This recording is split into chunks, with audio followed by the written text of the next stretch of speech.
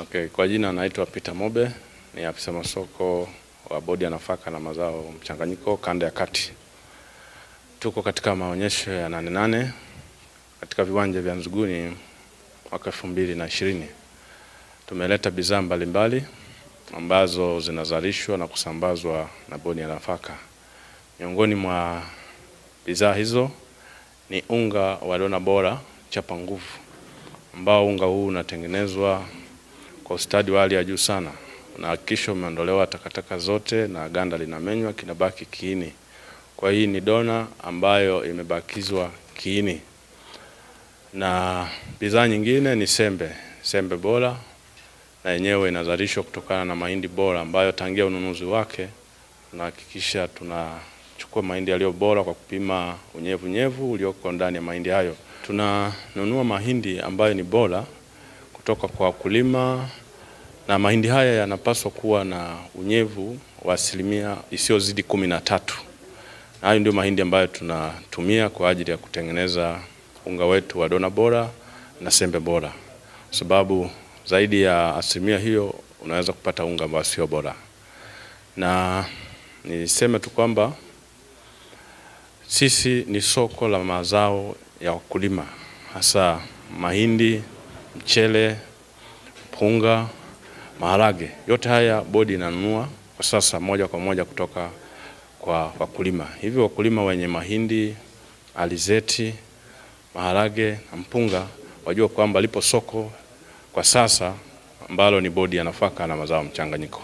Tunawakaribisha sana wakulima wale wote ambao wana mazao hayo ili waweze kuleta na kuuza kwetu kwa bei ambayo ni bei tunayohakikisha kwamba wanarudisha gharama zao walizotumikia wakati wa kulima. Tuna bidhaa nyingine inaitwa tan korosho. Hii ni dhahabu ya kijani kwa hapa nchini Tanzania na inaaminika kwamba ndiyo korosho bora katika bara la Afrika na ulimwenguni pia, kwa sababu ni tamu na ina, inalimwa kwa asili, haitumii mbolea za kisasa nyingi.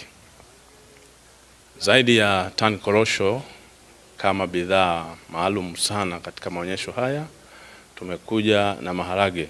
Yako maharage ya njano, yako maharage ya rose coco na ya soya lakini yote haya yamechambuliwa na yako vizuri. Ukitoka hapa unaenda tu kupika, hamna muda tena wa kukaa kuchambua. Bidhaa nyingine ni mafuta ya alizeti ambayo tunayakamua kutokana na kiwanda chetu ambacho kiwanda kipya kabisa na cha kisasa kilichosimikwa hapa Dodoma. Hivyo haya mafuta yamefanywa double refinery, yamechujwa mara mbili na hayana harufu yoyote na yanafaa kwa kupikia vyakula vya aina mbalimbali na yanaondoa kitu kinaitwa, hayana cholesterol kabisa kwa ajili ya miili yetu ya binadamu. Basi nichukue fursa ya pekee kwa ajili ya kuwakaribisha watembeleaji wa mabanda mbalimbali na wananchi pia washiriki ambao wanashiriki katika maonyesho haya ya nane nane wakaribie kwenye banda letu lililopo katika jengo la Wizara ya Kilimo. Jengo hili liko mkabala na jengo la TCRA au karibu na watu wa Tigo ambako wanafanya matangazo. Ukifika katika banda letu, ziko hata korosho kwa ajili ya kuonja. Utaonja korosho ili ufahamu ladha halisi ya korosho za Tanzania.